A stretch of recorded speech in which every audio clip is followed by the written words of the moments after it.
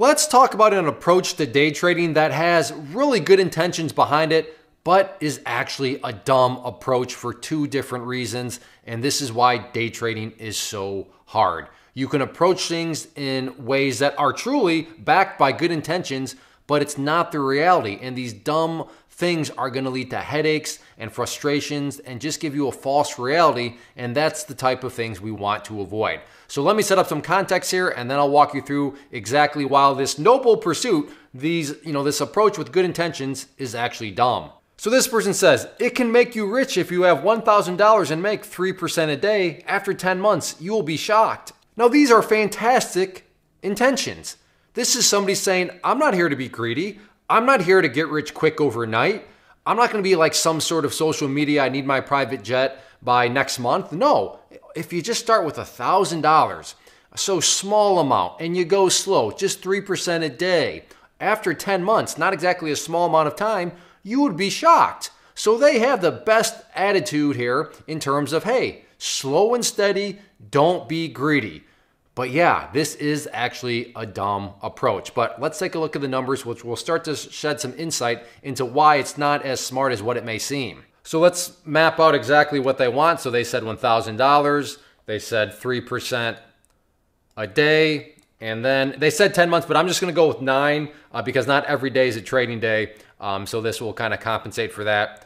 And you can see right here, future value, $342,000 not too bad. So as of right now, things seem to be, wow, yeah, see, Clay, slow and steady. That adds up very, very nicely because $340,000 is a lot of money.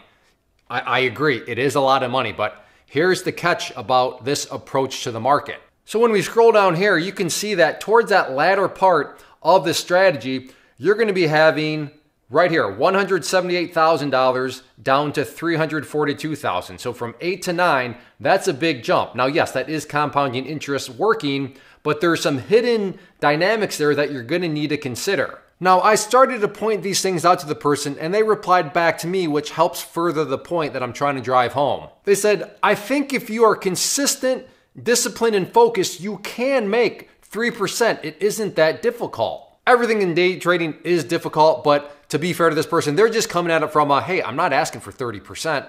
I'm not asking for 10%. I'm not even asking for 5%. I'm just saying 3%. So that, that's a reference point of what they mean by easy. In other words, they're not trying to be greedy. They're just saying, I'm not being greedy at all. All I'm saying is 3%. So yeah, when you're doing that, you can stay focused. You, you can remain disciplined and all that. But here's my challenge. I would submit to you for two reasons. You're not going to be able to you know, it, it, things are going to start to fall apart because when you look at those numbers, remember, think about it from going to, uh, you know, the 178,000 up to the 340,000, that means that this approach towards a tail end is going to require you needing to put $300,000 into a trade. And if you're anything like me, that's probably how you would feel at the thought of putting $300,000 into a single trade. So that's going to be the first big problem is that kind of money into a single trade, I can only speak for myself, but I think that would cause most people to start to really freak out. I mean, that's regardless of the setup, it could be a perfect A plus setup. But if you have, you know, $250, $300,000 into the one trade, you got to think that's going to create some sweaty palms. That that's going to be a very big mental hurdle to clear. Now, to be fair, and I'll maybe I'll not maybe I will, I'll concede this point. Let's just assume, you know what, no, Clay, I have ice water in my veins. That would not faze me at all. I can throw $300,000 into a single trade, no problem at all. And you know what? It's not going to affect me one bit from an emotional emotional standpoint. Okay, fine. There's still another problem with all this though. So let's go to the blackboard and I'll show you what I mean. So we have our trader and his name is going to be Ice because yeah, he's got those ice waters in his veins. And he's got that $300,000 that he is at, you know, within that approach where he's saying, okay, I got to go for the, you know, the 3% on my $300,000 now. So he needs to put $300,000 into a trade. So that is his goal. Now, while I'm not going to say that he's moving markets, I am going to say that when you get to that amount of money, it's very, very realistic that the market's going to start to notice. Like if you just throw out a $300,000 order, the market's going to be like, oh, wow, that, that's actually pretty big. And what a lot of people, and especially if you're new, you're not necessarily understanding is, for example's sake, let's just say that the one price that he's looking at right now is $100. So he wants to buy, and let's just call it a stock for $100. But he's got to ask himself a very important question. That question is, okay, well, how much for sale is actually available at that price? And let's just say that in this situation, for sale, there's $100,000 for sale and, you know, available at that level. Well, what does that do? That does that give him his $300,000?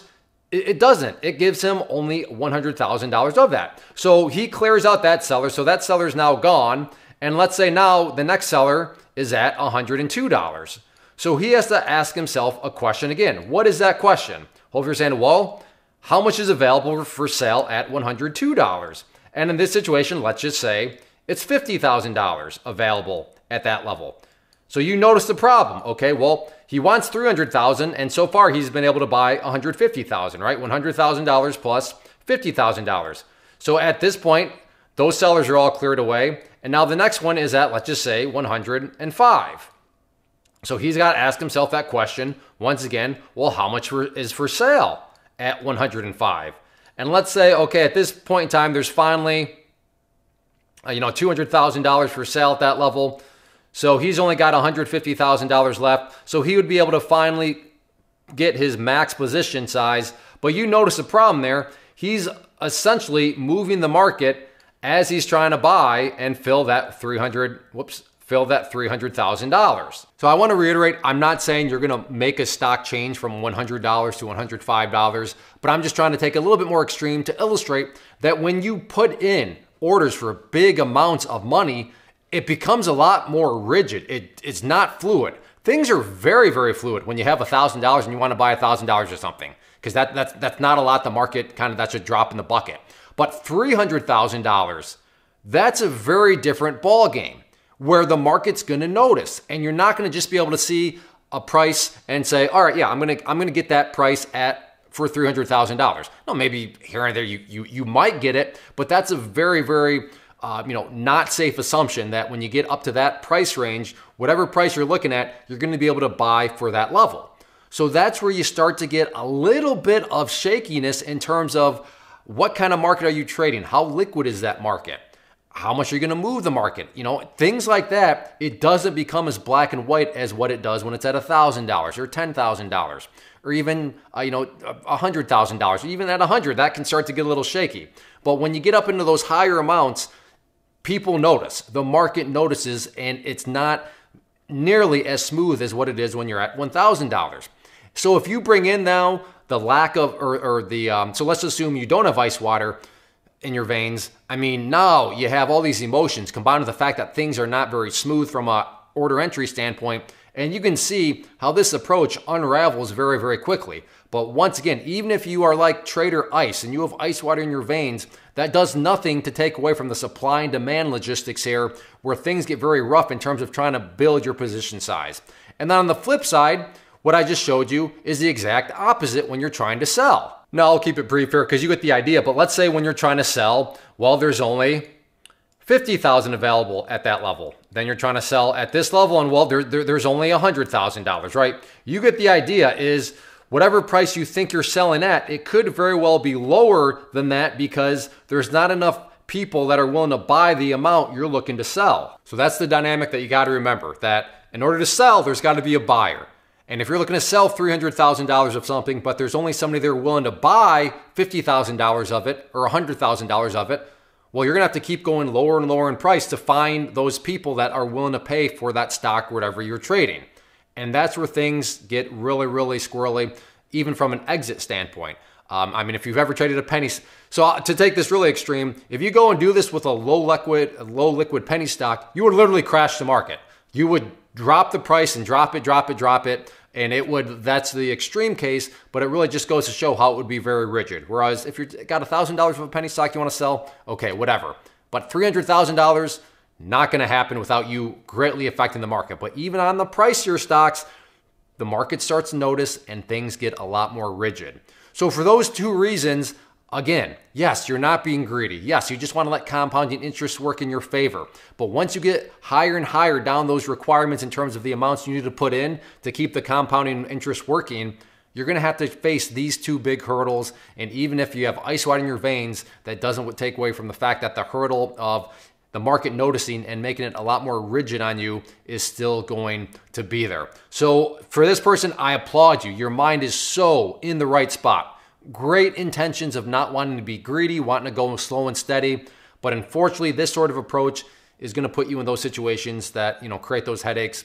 Um, that you know it, it just you're just not going to be able to overcome them from a very you know simplistic of a supply and demand um, issue. So I hope this helps. And you know if you were approaching the market in this way, I'm not trying to here to rain on your parade, but I, I did want to give you a realistic um, expectation that eventually things are going to start to crumble for these couple of reasons. But um, like I said, I hope this helps. And if I ran on your parade, I hope we can still be friends. First off, thanks so much for watching the entire video. Real quick, before you go, I want to invite you to a live webinar, web class, training, workshop, online event whatever you want to call it, but it will be me live revealing to you what I've discovered that has allowed me to transform myself from being an employee to being my own boss, including how I had only one losing day out of 73 days in total. I'm going to cover three keys that have helped me unlock profitable consistency within the markets. The first key is super weird, but in a productive type of way. The second key is super awesome because it quite literally is wired into our DNA as humans, making it very easy to use. But in a cruel way, this becomes a pitfall for many traders. I'll explain it all though, including how to avoid the pitfall that it creates for some. And yeah, the third key, when you hear it, sounds way too good, way too good to be true, but it's not, and I'll show you how it all works. Then at the end, I open it up for a question and answer session that is, again, totally live. Even if you can't make the live session, please still sign up as it will be recorded, and you can go back and watch the replay that I will send you.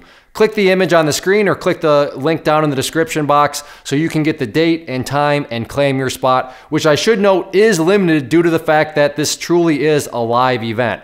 If you have any questions, let me know. If not, I'll be seeing you soon.